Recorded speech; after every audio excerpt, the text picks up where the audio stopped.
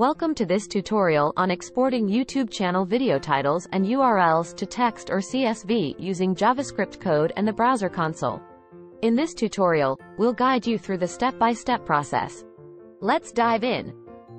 First, open your preferred web browser and navigate to the YouTube channel page from which you want to export the video titles and URLs.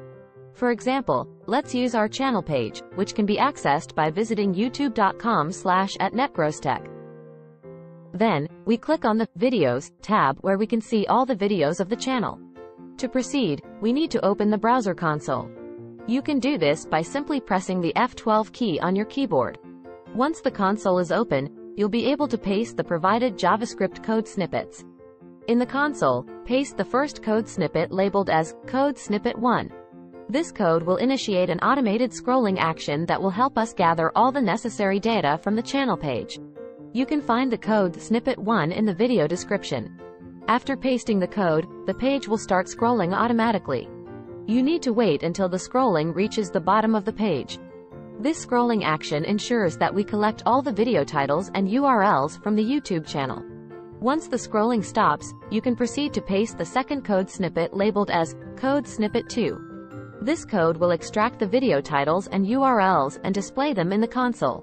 You can find the code snippet 2 in the video description. Once you've pasted the second code snippet, the console will display the video titles and URLs in the desired format. You can now choose to copy this data and paste it into a spreadsheet for further analysis or any other use. If you prefer to export the data as a CSV file, we have an optional step for you.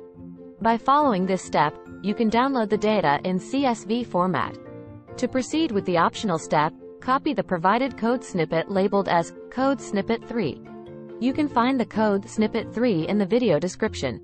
By pasting the code snippet, a CSV file named my underscore data.csv will be automatically downloaded.